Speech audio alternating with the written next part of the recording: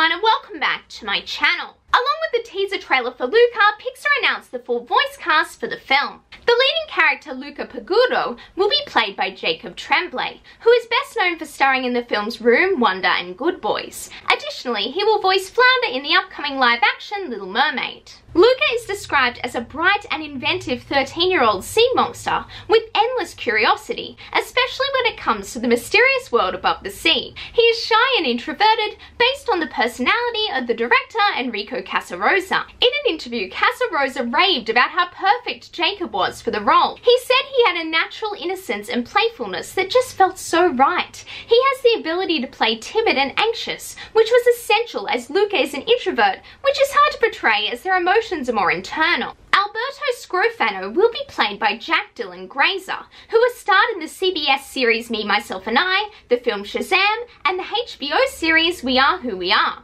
Alberto is described as an independent, free-spirited teenage sea monster with unbridled enthusiasm for the human world. He is a couple of years older than Luca and is extremely overconfident, a complete opposite to Luca. This character is based on the director's real-life best friend, who is also called Alberto. He was a bit of a troublemaker who, without parental supervision, could pretty much do whatever he wanted. In an interview, Casarosa said that they had to work hard to find Alberto, but Jack was a perfect fit as he was able to bring a natural confidence and vulnerability to the character. He is also an amazing improviser. The human girl's name is Giulia and will be played by Emma Berman, a newcomer from San Francisco. Giulia is an outgoing and charming adventurer who befriends Luca and Alberto. She is an outsider and misfit. She doesn't know anything about these guys, but she can sense that they're different, like her. Emma brings a natural intensity to the part, described by the director as a burst of joy. Casarosa said, the first time we met her, she was giggling.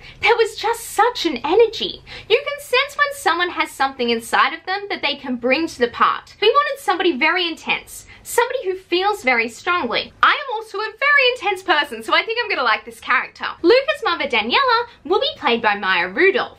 She is from Bridesmaids, Saturday Night Live, and The Good Place. She has previously done voiceover work with Disney, playing Aunt Cass in Big Hero 6. Daniela is a stern mother. She is difficult and controlling, but there is a warmth to her that balances it. Luca's father, Lorenzo, will be played by Jim Gaffigan from The Pale Tourist. He and Maya, being amazing comedians, were given many opportunities to improvise when recording the film. An Italian actor, Marco Barricelli, is playing Giulia's father, Massimo, who is a big fisherman.